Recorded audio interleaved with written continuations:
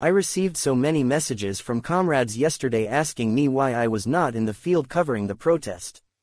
I had my personal reservations especially concerning the struggle. I cannot just watch behind my camera while a peaceful unarmed fellow youth is being harassed and maltreated by brutes in uniform. I just can't be silent when these fellow young people are charged, prosecuted and remanded, then I comfortably go back home and sleep BCOZ am journalist yet I myself I'm equally affected by the prevailing situation. I may either end up in jail or get back home when my camera is destroyed on those brutal id. Otz's heads.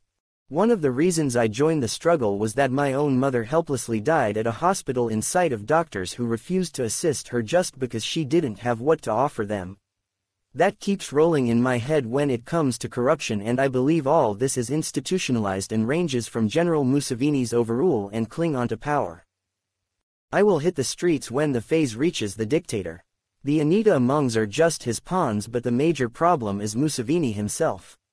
However thanks to my fellow youth for asserting themselves yesterday and I will continue to support them even when they set out for tomorrow.